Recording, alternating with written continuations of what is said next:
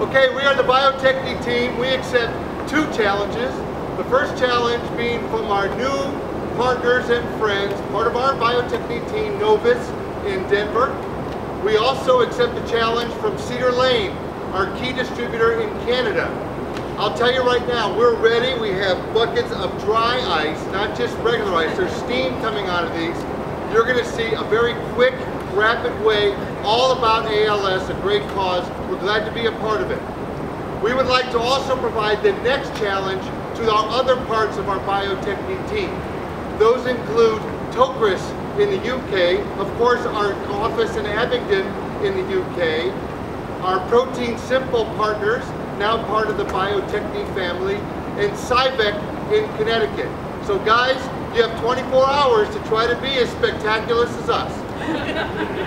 Are you marked guys? Are we ready? Yeah. A one, and a two, and a three, go!